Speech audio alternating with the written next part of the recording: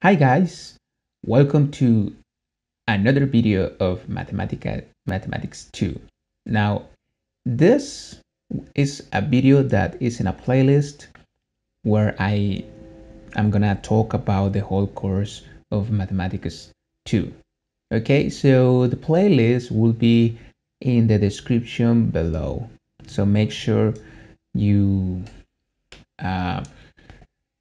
you connect to that playlist because I'm going to be uploading a video every time that I can. Okay, so the first topic that we're going to see is the radians and the degrees. Okay, because these are the two methods that we are going to use in order to measure an angle. Okay, so just imagine that. Okay, so we have a circle and this will be the angle that we are going to measure over here. Now that angle could be measured in radians or degrees.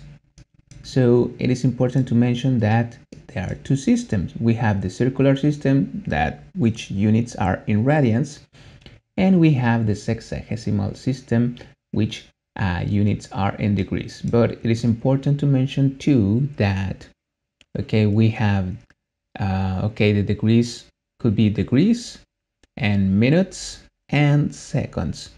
But I'm going to explain this in another video.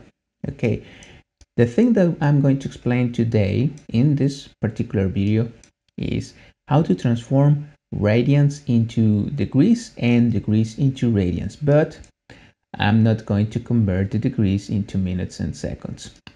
That will be in another video okay? Well let it is important to mention before we continue that there is an important um, relationship between the radians and the degrees. And one thing is that uh, p radian 1 p radian equals 180 degrees. Okay?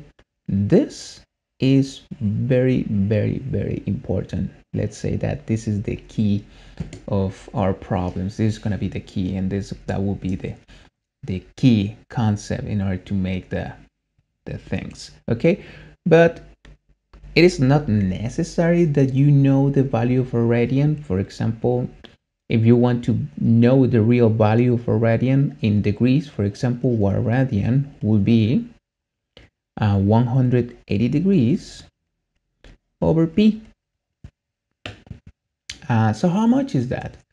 I'm going to use this calculator but it is important to mention that if you're going to use cal your calculator it's important that that calculator is must be in degrees. So how can you do it? You need to press shift and then setup and you are going to choose the number three the one that says degrees this is degrees and this is for radians so we need the number three selected. In my particular calculator okay i see all the options but in your calculator you must be watching or seeing the letter d. Okay so how much is a radian okay 1 180 over the value of p. How much is p? I'm gonna press this key shift and this one and that is the value of one radian. So i'm gonna write it over here. That is um, 57 point 29 57 the units are degrees okay. Now it is not necessary that you memorize this value over here. The value that is important is this 1 p radian is 180 degrees if you want to really know how much how many degrees is a radian a radian is well you're going to use this one okay but for example, if you know that 1p radian is 180 degrees, well, of course, that you can know how much is 2p radians. So that will be 360 degrees and so on and so on and so on. Okay, so before we do the problems, I'm going to use a formula that is going to help me, help me in order to solve those problems. And that formula is going to be this degrees over 180 equals uh, radians over p and I'm gonna circle this formula and if you're watching this video and you are doing this with me I recommend you to have this formula and highlight it and make a circle or I don't know. This one is really really really really important. So the first example. Imagine that I'm gonna have um, let's say 133 degrees and I need to convert them into radians okay? That's what I'm going to do. And in, in order to do it I'm going to use this conversion factor. Okay so I have degrees and what I want are radians so I'm going to use this table that I just wrote. What I have are degrees so I'm just going to substitute over here. And I'm gonna say I have degrees so I'm gonna write the degrees that I have. 133 over 180 equals radians. I don't know the radians and that is something that I want, but I don't know them. So I'm going to write an X because that is something that I don't know. And I'm going to write P. So what I'm going to do is that I'm going to isolate X. So this P goes to the other side and we'll go multiplying. So it will be something like this. 133 degrees that multiplies P over 180 degrees equals X. Now, I don't like having X at the right side of my equation. So what I'm going to do is that I'm going to switch. So it's going to be X equals 133 degrees times p over 180 degrees. Now the degrees are going to be canceled because remember those are the units. So if you see uh, every time that I cancel and there is nothing left, I'm going to have radians. Radians. I could write rad for short version of radian or you can write the radian. Now you can say that is the answer mm, yes but i prefer um, i prefer to write it okay? Um, and sorry i prefer to make the operation so it will be fraction it could be fraction 133 times p over 180 okay? So how much is that so if you see my calculator gives me the fraction because I, I just wrote in the fraction and for example this is the normal procedure of this calculator. If, if this fraction could be simplified the calculator is going to show me the, the, the simplified fraction. But in this case, what I want is the decimal number. So in order to transform this number into decimal, I'm going to use this key over here okay so i'm going to press this one. And this is the value of this. 133 degrees converted into radians is this number. So i'm just going to write it.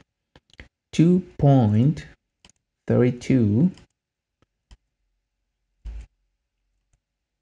12 and this is uh, radians. Or rad so that is the answer of this first example. Okay, so let's let's do the, the number two. Okay, so this is the example number two. In this case, we have 2p radians, 2p, sorry, 2p over 9 radians, and I need to convert this into degrees. So in order to do it, I'm going to use the same formula that I have over here. So what I have are radians. What I want are degrees. So degrees is something that I don't know. Okay, so I'm going to place an X on degrees. X over 180 degrees.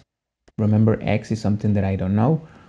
Equals 2P over 9 radians. That's what I have over P radians.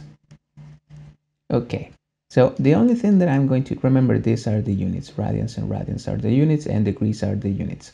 So the only thing that I'm going to do over here is that I'm going to isolate x. So that means that 180 goes to the other side multiplying. So x equals, and I'm gonna write 180 degrees that multiplies fraction 2 times p over 9 okay? Radians. Over the p that I have in the denominator and the units. Radians. Okay. So the first thing that I can do is that I can cancel radians with radians. So I'm gonna have degrees as a final unit. And rem just remember when we multiply fractions that I have a over b times c over d. Okay so I'm going to multiply numerator with numerator. So I'm going to have ac over bd and that's the same thing that I'm going to do here. So I'm going to place a one a one uh, below 180 and then I'm going to multiply 180 times 2p over 1 times 9 so let's do it over here. So in order to do it I'm gonna use the calculator 180 times 2 I'm just gonna multiply the, the numbers so it's to be 360. 360 degrees times p over 9 over p. So what am I to do after this? I'm going to use a rule. I hope you remember something like this. A over B over C over D.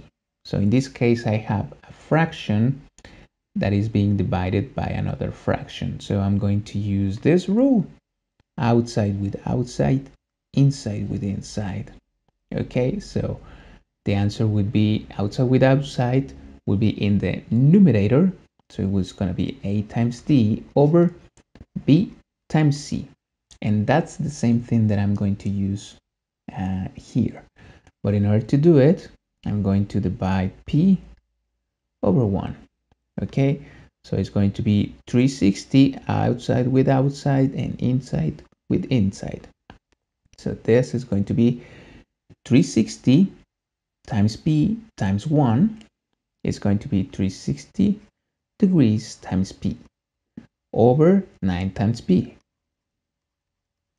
okay so in here what I can do I can cancel p with p and I can divide 360 over 9 and the answer the final answer for this problem is going to be 40 degrees.